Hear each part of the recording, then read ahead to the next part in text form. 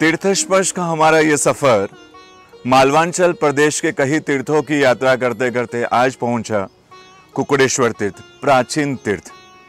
पाशुनाथ भगवान के समय के साथ पाशुनाथ भगवान के जीवन के साथ जुड़ा हुआ ये प्राचीन तीर्थ। कल्पो सूत्र का भी जब वांचन करते हैं, उसमें दो प्राचीन तीर्थों की पाशुनाथ भगवान के जीवन काल के दो प्राचीन तीर्थों की बात आती है। एक कलिकुंड तीर्थ और दूसरा, ये कुकुड़ेश्वर तीर्थ। इससे भी हम इसकी प्राचीनता का अंदाज़ा लगा सकते हैं। प्राचीन 108 पार्श्वनाथ भगवान के तीर्थों में भी ये शामिल, ये प्राचीन तीर्थ। जिनाले की दुनिया की बात करें तो जब जिनाले में प्रवेश करते सामने तीनों लोगों के नाथ, देवादिदेव परमात्मा, पार्श्वनाथ भगवान की सुंदर श्याम वर्णी प्रतिमा, देखते ही मन को हर लेती है, चित्त को चुरा लेती है, ऐसी सुंदर प्रतिमा। सुंदर परिकर युक्त भगवान के साथ ये पार्श्वनाथ भगवान बैठे हैं। गर्भगृह के बाहर की दुनिया में हम जाए तो यहाँ पर आदिनाथ भगवान की संप्रतिकालीन प्राचीन प्रतिमा भी मौजूद है। दो कौशज्ञा प्रतिमा भी है और पुंडिक स्वामी और गौतम स्वामी भगवान की दो खड़ी हुई प्रतिमा, जो भी हमें कहीं मालवांचल में और कोई इस तरह की प्रतिमा देखने को नहीं मिली। इसके अलावा अन्य देवी देवता की प्रतिमाएँ भी तो है ही है। साथ में एक भेरू जी की भी प्रतिमा है, जिसे भैरूसा का नाम से भी जाना जाता है। जैन अजीनो अजैन बहुत श्रद्धा रखते हैं। कहते हैं इनके चमत्कारों के ऊपर एक किताब लिखी जाए तो किताब के पन्ने कम पड़ जाए। ऐसी आस्था ऐसी चमत्कार की घटनाएँ बैरूसा से जुड़ी हुई है। तो ये सब हम दुनिया का भी हम इस पूरे वीडियो में हम दरमियान देखेंगे।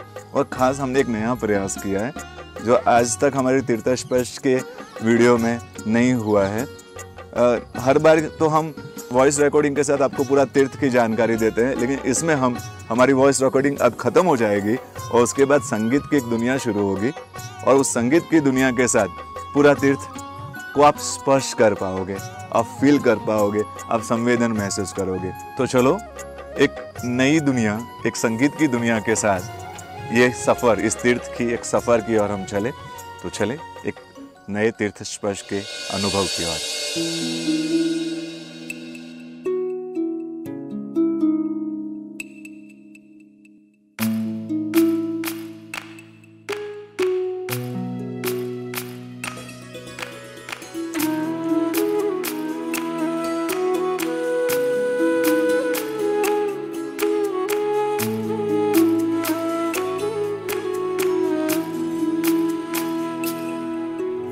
विश्वास छो विश्वास छो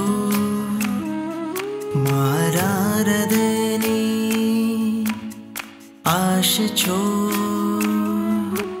विश्वास छो विश्वास छो आकाश छो प्रभुवर मारो आकाश छो।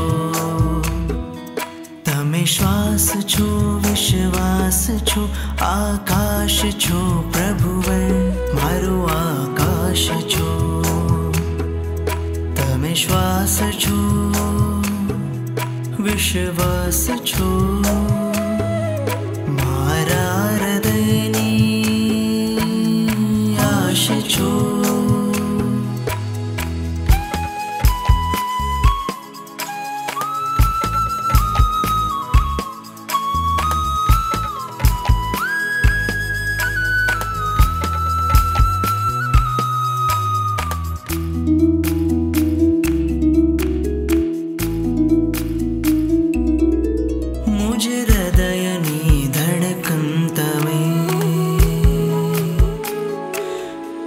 प्रभुवर मुझ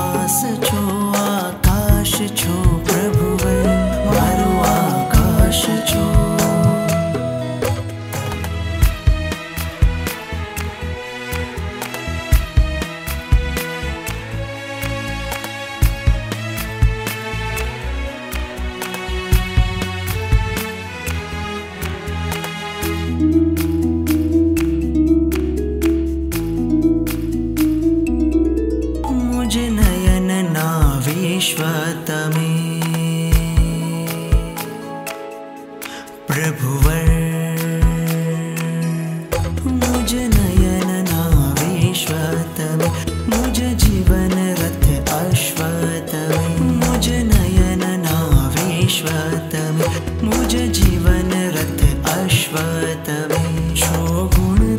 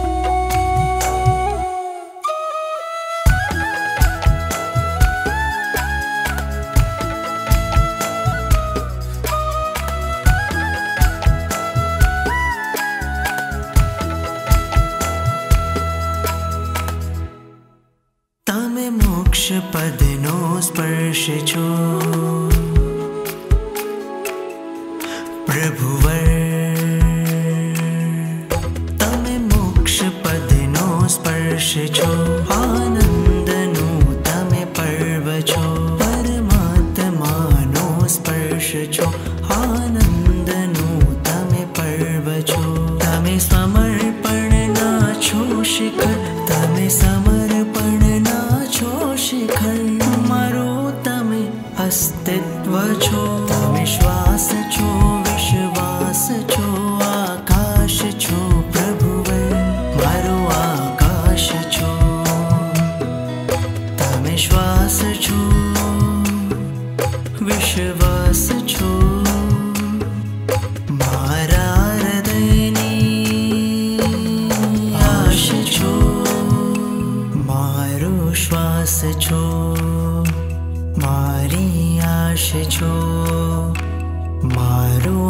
आशो मारो श्वास छो